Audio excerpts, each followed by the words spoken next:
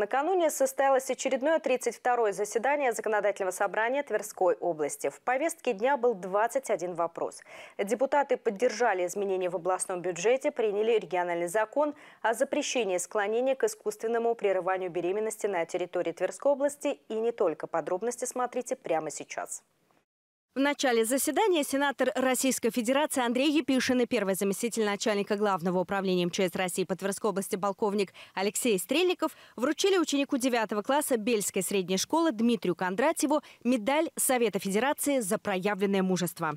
В августе этого года Дмитрий, рискуя собственной жизнью, спас тонущую в реке девушку. В исключительно сложной ситуации девушку уже полностью накрыла водой, и она уходила на дно. Дмитрий действовал решительно и смело. Результат результат – спасенная человеческая жизнь.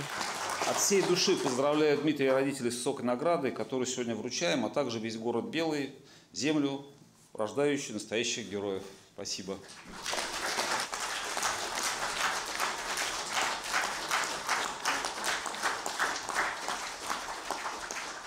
Что касается вопросов повестки дня, то депутаты поддержали предложенные изменения в областной бюджет.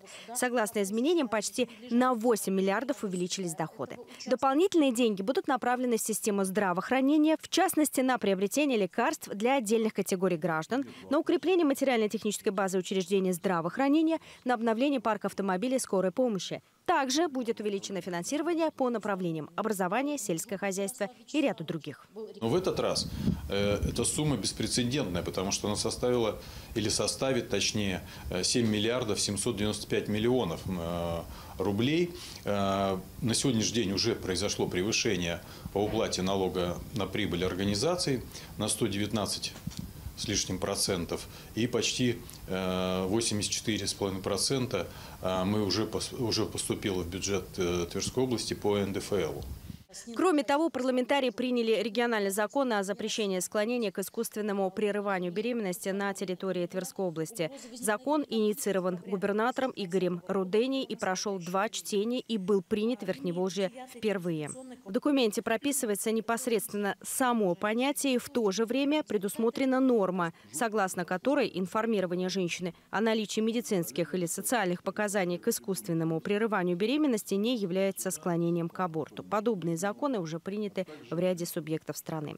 На заседании поддержан проект федерального закона об аттракционах. На сегодняшний день в стране нет закона, регламентирующего вопрос эксплуатации, технического состояния и государственной регистрации аттракционов. А вот разработанный проект устанавливает основы деятельности в области технического состояния и эксплуатации аттракционов.